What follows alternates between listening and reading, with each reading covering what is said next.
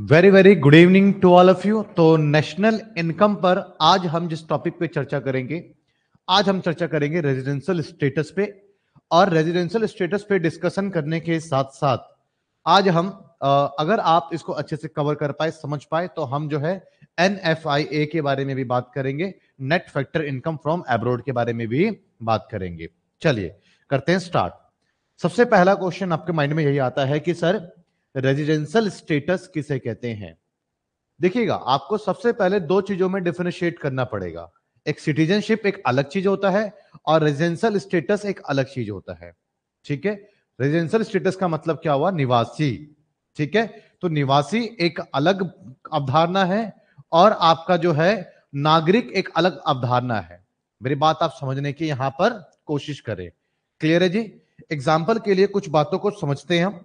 जैसे कि दिल्ली के अंदर आपने यहाँ पर ये देखा होगा कि कुछ लोग जो है तिब्बती जो कि चाइना से, आप कह सकते हैं, आए हुए हैं जो कि मोनिस्ट्री शॉप खुली हुई है दिल्ली में मोनिस्ट्री इनको जो है यहाँ के गवर्नमेंट ने रहने के लिए, अपना गुजारा करने के लिए जो है एक दुकान जो है वो अलॉट कर दी ताकि अपना जो है पालन पोषण कर पाए।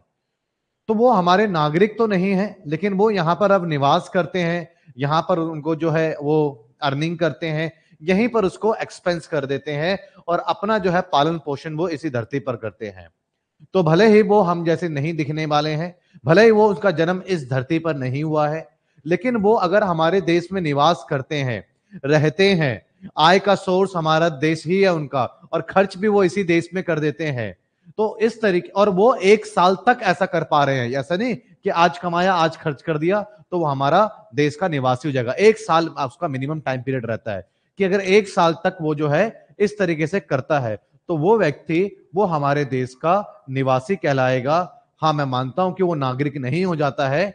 नागरिक तो वो होता है जिसको हमारे देश में हमारी सरकार चुनने का अधिकार होता है। वो हमारा जो है, वो हमारा नागरिक होता है मतलब जो वोट करता है, वोटिंग करता है। लेकिन वो लोग जो इकोनॉमिक पॉइंट ऑफ़ व्यू से रहते हैं, ठहरते हैं, अपना पालन पोषण करते हैं, वो लोग हमारे नागरिक नहीं होते हुए हमारे निवासी कहलाएँगे। अगर मैं अपनी बात करूँ तो मेरे पास में दोनों ही चीज़ें हैं। और आपकी भी बात करूँ तो आपके पास में दोनों चीज़ें हैं। आप नागरिक भी हैं और आप निवासी भी हैं। दोनों ही चीज़ें हैं। लेकिन नागरिक और निवासी दोनों अलग अलग बातें होती हैं। यहाँ पर मैं सिटीजनशिप की बात नहीं कर रहा हूँ। यहाँ पर मैं बात कर रहा हूँ रेजिडेंशियल स्टेटस की मैं बात कर रहा हूँ। एग्ज़ाम्पल के लिए आप जरा इस चीज़ को समझने की कोशिश कीजिए। अब देखिएगा, जरा इस बात को आप समझिए। यहाँ पर भले ही ये इंडिया ओरिजिन के लोग हैं, जैसे आप देख पा रहे हैं ना, ये देखिएगा, भले ये इंडिया जो है इंडिया ओरिजन के लोग हैं, नागरिक भारत के यूँ, लेकिन अब ये भारत में नहीं रहते हैं। ये बाहर रहते हैं, वहीं कमाते हैं और वहीं पर इन्होंने अपना घर बनाया हुआ है और वहीं पर ये जो है रहते हैं पालन पोषण वहीं पर करते हैं। तो ये भारत हमारे जैसे दिख रहे हैं, हमारे भारत के ही होने के बावजूद भी ये इंडिया का जो है रेजिडेंशियल स्टेटस इनके पास में नहीं रहेगा। ये जो है, जहाँ जिस कंट्री में है यूके के है तो ये जो है यूके के ही रेजिडेंस कहलाएँगे। और उसी तरीके से ये देखेंगे आप, साउथ अफ्रीका, जो भले ही मैं मानता हूँ, हमारे देश में मान लो इन्होंने जन्म नहीं लिया, ठीक है? लेकिन अब इसी देश में आकर के रहते हैं। और आय का जो है सोर्स इनकम का सोर्स और एक्सपेंडिचर इसी कंट्री में होता है और एक साल से ऊपर ऐसा चलता आ रहा है। तो इसलिए हम इसको क्या बोलेंगे? ये हमारे रेजिडेंशियल है। तो ये देखिएगा, दूसरे कंट्री के लोग भी हमारे रेजिडेंस हो रहे हैं और हमारे खुद के जो यहाँ पे जिन्होंने जन्म लिया, वो भी हमारे रेजिडेंशियल के अंदर नहीं आ रहे हैं। तो आपको इस बात को समझना होगा कि रेजिडेंशियल स्टेटस का मतलब ये नहीं है कि आप फेस देख करके डिसाइड करेंगे कि हम जैसा दिखता है तो रेजिडेंशियल स्टेटस है, हम जैसा नहीं दिखता तो नहीं है। नहीं, ये इस बात पर निर्भर करेगा, ये इस चीज़ पर डिपेंड करेगा कि वो अगर एक साल कोई भी व्यक्ति, कोई भी विशेष, कोई भी पर्सन एक साल जिस देश में रहता है, कमाता उसी देश में है, खाता उसी देश में है, खर्च उसी देश में करता है, वो व्यक्ति उस देश का रेजिडेंशियल स्टेटस उसको मिल जाएगा, वो व्यक्ति उस देश का निवासी कहलाएगा। मेरी बात समझे या नहीं समझे आप? क्लियर है? इस बात को आप समझ रहे हैं? अब आप बताइएगा कि नेशनल इनकम जब हम कैलकुलेट करते हैं तो एक तो मैंने लास्ट क्लास में आपको बताया था डोमेस्टिक टेरिटरी का कॉन्सेप्ट जो कि मैंने एक इकोनॉमिक टेरिटरी का नाम भी दिया था उसको। और आपके दिमाग से निकालने में मुझे एक घंटा लग गया था कि पॉलिटिकल टेरिटरी अलग चीज़ होती है। तो डोमेस्टिक टेरिटरी वो क्षेत्र, वो एरिया वो वो जगह, वो सीमा, जहाँ पर हम अपने लोगों को, हम अपने गुड्स एंड सर्विसेज़ को, हम अपने कैपिटल को फ्रीली मूव कर सकते हैं। वो जगह हमारा डोमेस्टिक टेरिटरी के अंडर में आएगा। वो भारत के अंदर भी जगह हो सकती सारी है, लेकिन कुछ जगह भारत के अंदर भी ऐसी हैं जो कि हमारे, जहाँ पर अपने कैपिटल्स को, अपने गुड्स को, अपने सर्विसेज़ को, अपने पर्सन को हम मूव नहीं कर सकते हैं। लाइक एम्बेसिस वो हमारे डोमेस्टेटरी का पार्ट नहीं है। और अगर हम ऐसा विदेशों में कर पा रहे हैं तो वो हमारे डोमेस्टेटरी का पार्ट है। तो डोमेस्टिक इनकम में आपने इस बात को समझा है कि डोमेस्टिक इनकम के अंदर वो जो कि हमारे डोमेस्टिक टेरिटरी पर जनरेट होगा, कौन है कमाने वाला, उसको छोड़ो, भूलो। जो हमारे डोमेस्टिक टेरिटरी के ऊपर जो इनकम जनरेट होगी, वो डोमेस्टिक इनकम हो जाएगी। चाहे एक साउथ अफ्रीकन आता है क्रिकेट खेलता है मैन ऑफ़ द मैच लेके जाता है प्राइज मिलता है फ़्लाइट पकड़ा और अपने देश साउथ अफ्रीका चला गया। लेकिन वो हमारे डोमेस्टिक टेरिटरी पर इनकम जनरेट हुई, हम उसको बोलेंगे, भैया, हमारा डोमेस्टिक इनकम है, ये हमारी जीडीपी है। ये तो गलत बात हुई हुई या नहीं हुई? तो जीडीपी के अंदर समस्या थी या नहीं थी? बताइए जरा। थी? अब आप इस बात को समझिएगा। भारत के अंदर एक एम्बेसिस है। वहाँ पर कोई भारतीय काम करता है, अखबार देता है, चाय पिलाता है, जो भी काम करता है। कोई इंडियन काम करता है। हम यूएस एम्बेसिस के अंदर, जो कि इंडिया के अंदर दिल्ली के अंदर है। तो उस एम्बेसी में उसको सैलरी मिली, जो कि भाई साहब यूएसए से मिलेगी, ज़ाहिर सी बात है। तो उनको सैलरी मिली। वो यहीं पर रहेंगे, यहीं पर खाएँगे, यहीं पर खर्च करेंगे भारत में। कौन? जो इंडियन है। हम क्या कहेंगे, नहीं भैया, नहीं। जीडीपी में आपकी इनकम शामिल हम नहीं करेंगे। क्यों? क्योंकि हमारे डोमेस्टिक टेरिटरी पर आपने जनरेट नहीं करी। तो आपको जीडीपी के बारे में आपको पता था कि वहाँ पर वो स्पेस जहाँ पर हम अपने गुड्स कैपिटल एंड पर्सन को फ्रीली मूव कर सकते हैं, वो स्पेस हमारा क्या होगा? डोमेस्टिक टेरिटरी होगा। और उस पर जो इनकम जनरेट होगी, अगर हमारे डोमेस्टिक टेरिटरी पर इनकम जनरेट हो रही है, भले कोई भी कर रहा है, चाहे भले करके फुर पार हो जाए, उससे लेना देना नहीं है, कौन कर रहा है? बस हमारे डोमेस्टिक टेरिटरी पर इनकम जनरेट हो जाएगी तो डोमेस्टिक इनकम है। जो डोमेस्टिक इनकम जनरेट नहीं होगी डोमेस्टिक इनकम में शामिल नहीं होगी। हमने ये पढ़ा था जीडीपी के अंदर। क्लियर है जी? अब मैं पढ़ा रहा हूँ आपको रेजिडेंशियल स्टेटस यहाँ पर मैं कहाँ की बात नहीं कर रहा, मैं यहाँ पे कौन की बात कर रहा हूँ? कहाँ इनकम जनरेट हो रही है? डजेंट मैटर ठीक है ना? कौन इनकम जनरेट कर रहा है? ये मैटर करेगा। मेरी बात समझे या नहीं समझे? क्लियर है? तो जीडीपी में कहा आय का सर्जन हुआ है? जीडीपी में कहाँ पर इनकम जनरेट हुई है? ये देखा जाता है, जब भी जीडीपी कैलकुलेट किया जाता है। और नेशनल इनकम जब भी कैलकुलेट किया जाता है तो ये देखा जाता है कहाँ पर है वो छोड़ो। किसने किया है? कौन है करने वाला? अगर हमारा रेजिडेंट्स है तो वो हमारा नेशनल इनकम में शामिल होगा। तो आपको पता लगा जीडीपी बिल्कुल अलग है नेशनल इनकम बिल्कुल अलग है। मेरी बात समझे नहीं समझे? लोग बाग यूट्यूब पे आ करके ढिंडोरा पीटते रहते हैं जीडीपी नेशनल इनकम जीडीपी भैया, दोनों बिल्कुल अलग चीज़ है यार। क्या बात कर रहे हो आप? मेरी बात समझे या नहीं समझे आप? क्लियर है जी? भाई, बात समझ रहे हो कि जीडीपी क्या है और नेशनल इनकम क्या है? तो नेशनल इनकम को कैलकुलेट करने के लिए क्या चीज़ें मैटर करती है? इनकम कहाँ जनरेट हो रहा है या इनकम कौन जनरेट कर रहा है? जल्दी से कमेंट करें और फटाफट आप अपना आंसर भी करें। जल्दी करें प्यारे। बताइए इनकम मैं बात कर रहा हूँ नेशनल इनकम की। तो क्या मैटर करता है? इनकम कौन जनरेट कर रहा है? क्लियर है जी? और कौन का मतलब क्या हुआ? हमारे रेजिडेंशियल अब आपको पता है कि किसी भी देश का निवासी होने के लिए रेजिडेंशियल स्टेटस पाने के लिए क्या ज़रूरी है? आप एक साल या उससे ऊपर उस देश में होना चाहिए और उसका इनकम का सोर्स और एक्सपेंडिचर उसी कंट्री में होना चाहिए तो आप उस देश के रेजिडेंस हो जाएँगे। अब आप ये मत सोचिएगा यहाँ पर, मेरी बात समझिएगा। एक डॉक्टर है, वो गया चाइना इलाज करके वापस वापस लौट करके आ गया। उसको पैसा चाइना से मिला है। तो बताइए वो डॉक्टर हमारा रेजिडेंस होगा या नहीं होगा? बिल्कुल होगा। वो चाइना में एक साल थोड़ी रुका है। मेरी बात समझे? तो नेशनल इनकम इसको शामिल करेगा अपने अंदर। क्योंकि हमारे लोगों की इनकम है, हमारे देश में खर्चा होना है भैया। बात समझे ही समझे? लेकिन क्या डोमेस्टिक इनकम में ये चीज़ शामिल होगी? बताइए जरा। डोमेस्टिक इनकम में शामिल नहीं होगी, क्योंकि हमारे डोमेस्टिक टेरिटरी में इनकम जनरेट नहीं हुआ है। मेरी बात समझे या नहीं समझे? क्लियर है जी? क्लियर है भाई? इस बात को समझ पा रहे हो आप? लेकिन कुछ केस ऐसे होते हैं। कुछ स्पेसिफिक केस को समझिए आप। ऐसे सिचुएशन ऐसे जहाँ पर आप एक से ज़्यादा ज़्यादा साल के लिए अगर रुकते भी हैं तब आप उस देश के निवासी नहीं बन पाएँगे। कुछ कुछ ऐसे केस हैं। कौन से केस? आप मान लो आप आर, आप भारत के कोई भी जो है नुमाइंदे मतलब कि गवर्नमेंट के कोई भी आप एम्प्लॉय हो और गवर्नमेंट काम से जा रहे हो। मान लीजिए आप एम्बेसडर है।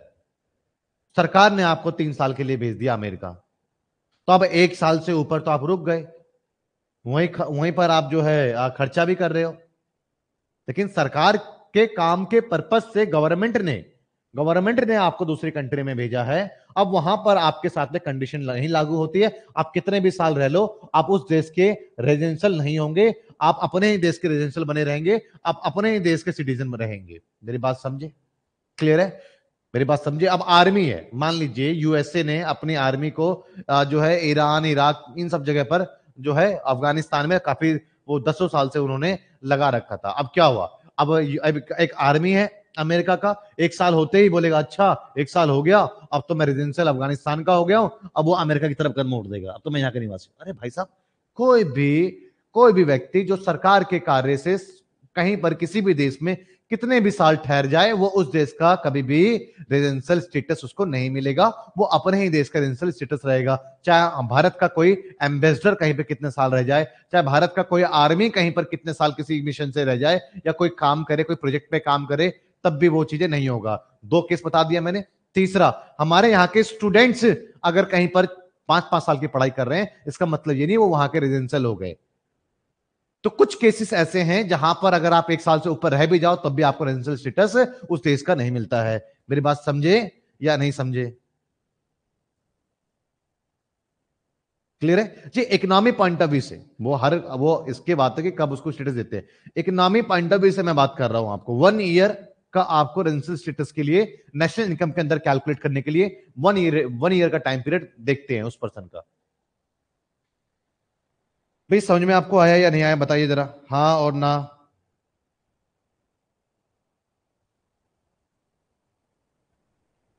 क्लियर है जी?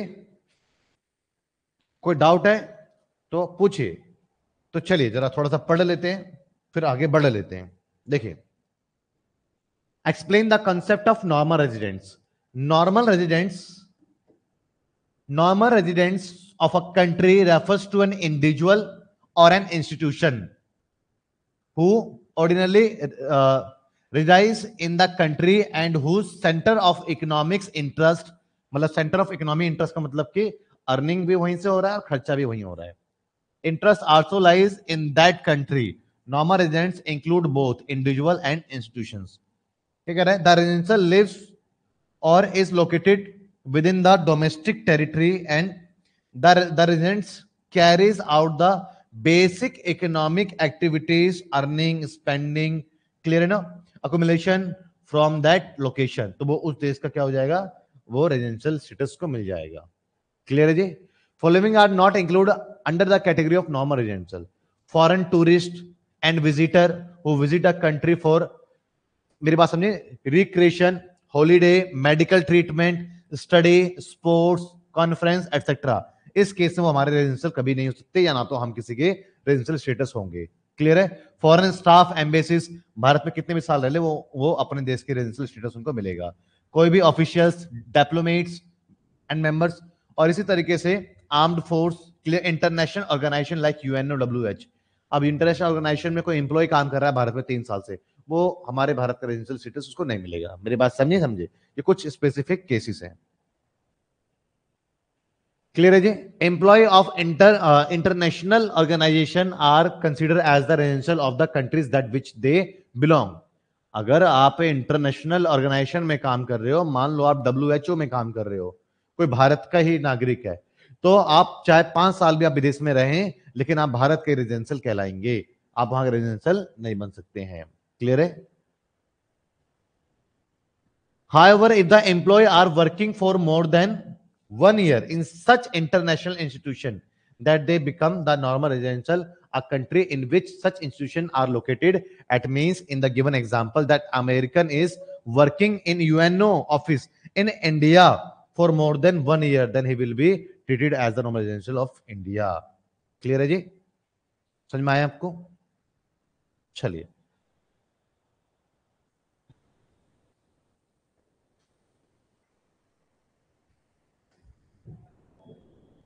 अब अपना करो test identify the following as a normal residential of India Indian officials working in the Indian embassies in USA बताइए जरा, क्या ये identify the following as a normal residential of India क्या ये हमारा, क्या ये हमारा रेजिडेंशियल होगा?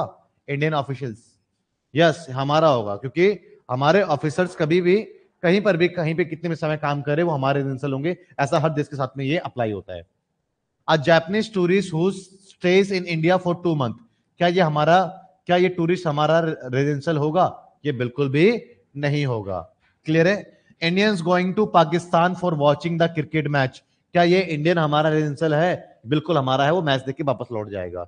Indian working in the UNA office located in America for the less than one year कोई इंडियन वर्किंग है? एक साल से कम रहता है अमेरिका में। एक साल से कम रहता है तो भैया वो हमारा ही रेजिडेंशियल स्टेटस को रहेगा। Indian employ working in W H O located in India ज़ाहिर सी बात है कि अगर कोई इंडियन एम्प्लॉय है जो भारत में लोकेटेड है तो भैया वो हमारा रेजिडेंशियल स्टेटस रहेगा। क्योंकि वो भारत में कमा रहा है और भारत में ही खर्च कर रहा है। हाँ डोमेस्टिक इनकम में उसके इनकम को शामिल नहीं करेंगे। मेरी बात समझे नहीं समझे चलिए मैं बहुत सारी बातें आपसे फिर से रिपीट करके पूछता हूँ। जरा बताएँ। आप कमेंट करेंगे फटाफट। यस और नो करके करेंगे ठीक है ना? यस मतलब आप कह रहे हैं कि आ, शामिल करेंगे नो मतलब कि करेंगे नहीं करेंगे ठीक है? फ़र्स्ट, मेरे क्वेश्चन ध्यान से सुनिएगा आप, क्या है? फ़र्स्ट ये है, ध्यान सुनिए, क्वेश्चन चेंज भी करूँगा मैं। Indian officials working in the Indian embassies in USO, क्या इसको जीडीपी में शामिल करेंगे? बताइए, क्या जीडीपी में शामिल करेंगे? बोलो। जीडीपी में। Indian officials working in the Indian embassy in USO. GDP में शामिल करेंगे? जीडीपी में बिल्कुल शामिल करेंगे, क्योंकि यूएनओ में जो हमारे एम्बेसी है, वो हमारे जीडीपी हमारे कहाँ पर इनकम जनरेट हो रहा है? ये देखते हैं।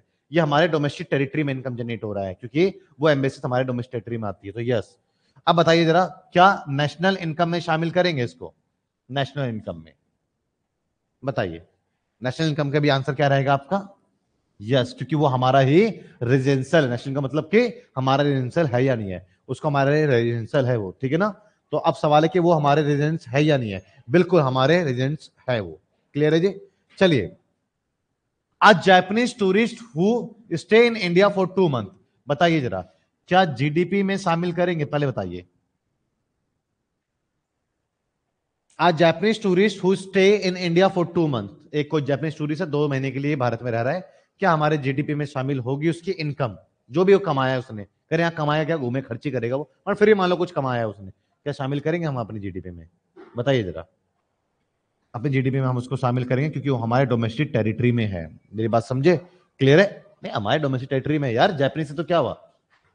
जीडीपी बस ये देखता है कि कहाँ इनकम जनरेट हो रहा है। और नेशनल देखता है कि कौन जनरेट कर रहा है। चलिए, अब बात करता हूँ नेशनल की। अब बताइए नेशनल में कौन जनरेट कर रहा है? क्या ये हमारा रेजिडेंस है? जो हमारा रेजिडेंशियल होगा, जो हमारे रेजिडेंट्स होंगे जो हमारे निवासी होंगे, उसी की आय को हम अपने राष्ट्रीय आय में शामिल करेंगे। ये हमारा निवासी नहीं है तो इसलिए हमारे नेशनल इनकम में शामिल नहीं होगा। बात समझिए नहीं समझे आप। क्लियर है? Indians going to Pakistan for watching the cricket match चलिए, इसको हम बताइए, क्या ये हमारा हमारा निवासी है या नहीं है? बिल्कुल है, और इसलिए हम इसकी इनकम को नेशनल इनकम में शामिल करेंगे। Indians who's working in UNO office located in America for less than one year अब बताइए जरा, क्या ये हमारे डोमेस्टिक इनकम में शामिल होगा या नहीं होगा? तो ये हमारे डोमेस्टिक टेरिटरी में इनकम जनरेट नहीं हो रही है तो ये शामिल नहीं होगा। क्या हमारे जो है नेशनल इनकम में शामिल होगा नहीं होगा? हाँ वो अभी भी हमारा निवासी है, इसलिए यहाँ पर होगा। मेरी बात समझे या नहीं समझे? Indian employees working in W H located in India national income के अंदर ही शामिल। अब बताइए जीडीपी में। जीडीपी में शामिल नहीं होगा क्योंकि डब्ल्यू एच ओ एक इंटरनेशनल ऑर्गेनाइजेशन है, वो हमारे भारत में है, लेकिन वो हमारे डोमेस्टिक टेरिटरी का पार्ट नहीं है, जो कि मैंने पढ़ाया था आपको। इसलिए हमारे डोमेस्टिक टेरिटरी का पार्ट नहीं है जीडीपी में शामिल नहीं करेगा। लेकिन नेशनल इनकम में शामिल होगा, नहीं होगा। बिल्कुल, वो हमारा रेजिडेंट्स है। क्लियर है जी? Yes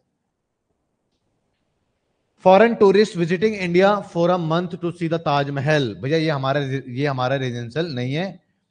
Indian Muslims going for the Hajj India के जो मुस्लिम्स है, वो हज जा रहे हैं। तो जाकर के वापस लौट करके आ जाएँगे ना वो? ठीक है तो वो हमारे निवासी रहेंगे। मेरी बात समझे? चलिए। Citizenship and residential are two the different terms explain it अब आपको पता है कि सिटीजनशिप एक अलग कहानी होती है और रेजिडेंशियल स्टेटस एक अलग कहानी है। तो आइए जरा देखते हैं कि इसका क्या स्टेटस है। It is basically a legal concept based on the place of birth भैया सिटीजनशिप के लिए तो देखा देखा जाता है क्या? कि कहाँ पर उसका जन्म हुआ? On the person of the some legal provision कुछ लीगल प्रोविज़न भी देखा जाता है। क्लियर है? और when a person is born in India he acquires automatic citizenship of India वो ज़ाहिर से भारत का सिटीजनशिप मिल जाएगा। आपको कहीं पे इसका रजिस्ट्रेशन करने ज़रूरत नहीं है। A person born outside India applies for the citizenship and Indian law allows him to become Indian citizen वो हमारे लॉ उसको अलाउ करेगा। सिटीजनशिप एक अलग चीज़ है।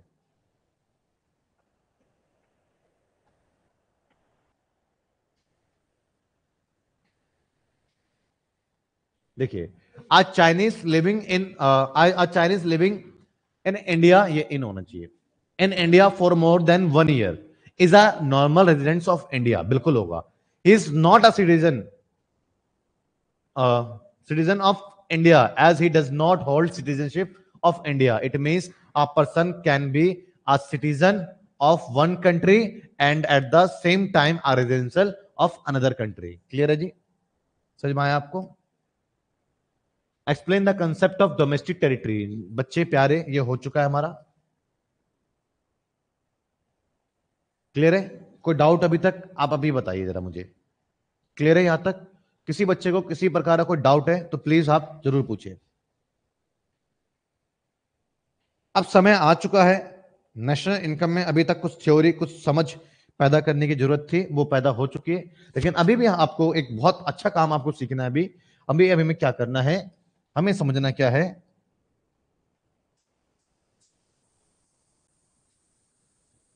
देखिए, एक हमारे पास में जीडीपी और हमें जो है सबसे पहले आपको क्या सम, तीन टर्म समझेंगे हम। अभी आपको बिल्कुल नया होगा आपके लिए शायद और आपको भी कंफ्यूजिंग आपको एनएफआई समझना होगा आपको डेप्रिशिएशन समझना होगा आपको एनआईटी समझना होगा। तीन चीज़ें समझनी होंगी आपको नेट इनडायरेक्ट टैक्स और आपको फैक्टर को समझना होगा और आपको मार्केट प्राइस समझना होगा। ये कुछ बात थे कुछ टर्म्स आपको समझना है। क्लियर है?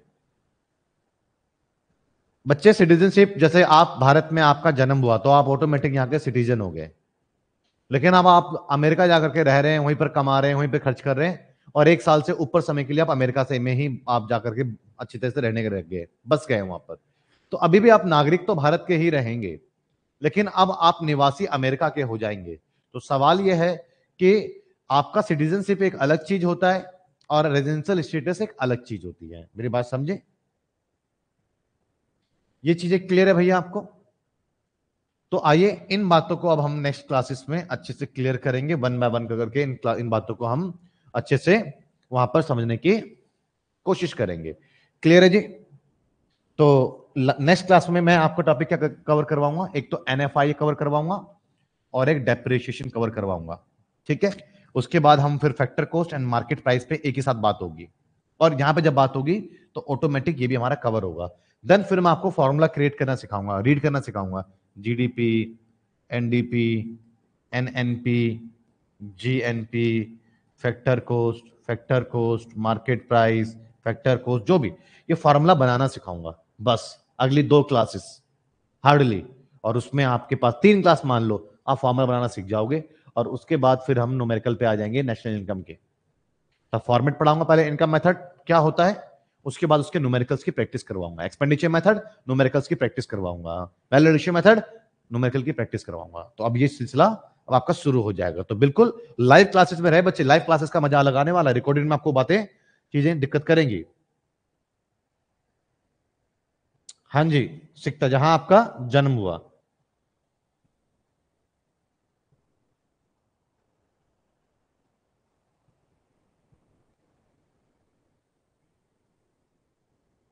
अब आप कोई बच्चा?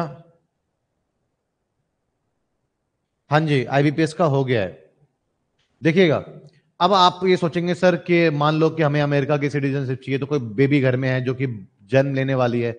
हम जस्ट उससे पहले अमेरिका चले जाएँ और वहाँ पे उसका जन्म हो जाए। डियर, ऐसे अलाउ नहीं होता है। फ़्लाइट में भी एक टाइम पीरियड होता है कि किस सिचुएशन में आप जाएँगे, किस सिचुएशन में आप नहीं जाएँगे। और ट्रेन से तो अमेरिका नहीं जाएँगे ना, ट्रेन अमेरिका तक है ही नहीं। मेरी बात समझे, नहीं समझे आप?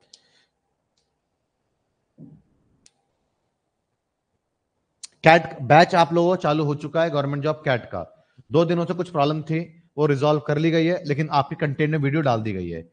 आप प्लीज़ अपने कंटेंट में जाए, उस दो क्लास को देख करके ही थर्ड क्लास कल ज्वाइन करें। अदरवाइज़ दो क्लास नहीं देखा तो थर्ड क्लास ज्वाइन मत करना, कुछ समझ में नहीं आएगा। पहले दो क्लास देखोगे, पूरा मज़ा लोगे इस टॉपिक का। मेरी बात समझे नहीं समझे?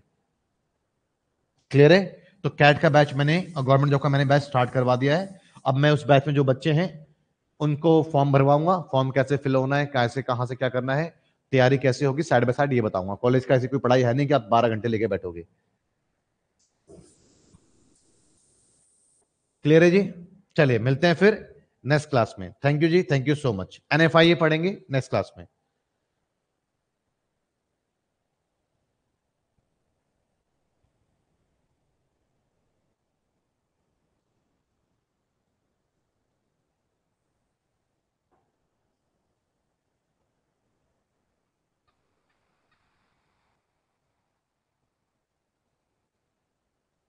और आप लोग अपने फ्रेंड्स को बता दें कि यूट्यूब पे कुछ प्रॉब्लम्स भी अभी आ रही हैं क्लासेस डालने वगैरह में। हमारे तो खैर यूट्यूब होता इसलिए है ताकि आप फ़ीस सबमिट करने से पहले एक बार चेक कर लें कि जो आपको पढ़ाया जा रहा है वो आपको समझ में आ रहा है या नहीं आ रहा सेटिस्फाइड है या नहीं है। तो पहले चेक कर ले कहीं पैसे देने से पहले, उसको कर ले टेस्ट तो वो टेस्ट करवाने के लिए यूट्यूब होता है। और इसी पर्पज से हम अब यूट्यूब पे क्लासेस डालते हैं। क्लियर है जी? और उसके बाद एक एक नॉमिनल फ़ीस जो कि बहुत नॉमिनल फ़ीस होता है, आप ये मान के चलिए।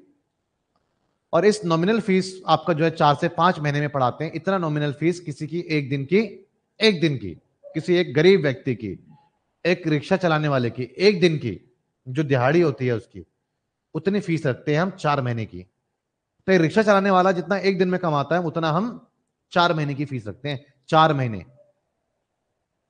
इतने नॉमिनल फ़ीस रखते हैं बच्चों के वेलफेयर के लिए। और इससे ज़्यादा और फेवर में अगर हम करेंगे तो जो स्टाफ है, जो सर्विसेज़ जिसकी आपको नीड होती है, कि सर हमारे डाउट सॉल्व हो जाए, सर कंटेंट लग जाए, सर वीडियो अपलोड हो जाए, सर चीज़ें यहाँ प्रॉब्लम आ रही है तो वो स्टाफ हम नहीं रखेंगे तो फिर वो चीज़ें आपको और उल्टी पड़ जाएँगी। वो आपको जो है, वो जो नॉमिनल फ़ीस है, वो आपको वो ज़्यादा नुकसान कर जाएगा, अगर वो भी अगर आप सेव करने की, बचाने की कोशिश करेंगे तो। क्योंकि आपकी फ़ीस आती है, वो स्टाफ की तरफ़ तो हो जाएगी जाएगी।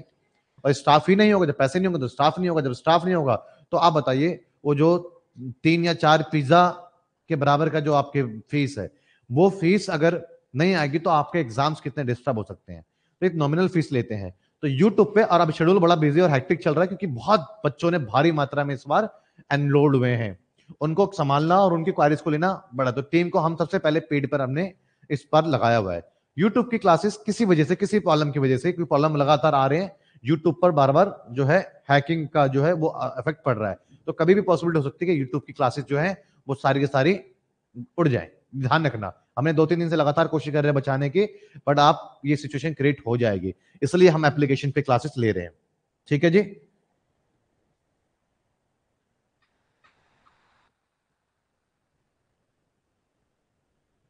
बुक बिल्कुल भी कोई सी मतलब जो मैं पढ़ा रहा हूँ, यही काफ़ी है। ध्यान रखना। इसी कंटेंट को पढ़ना है।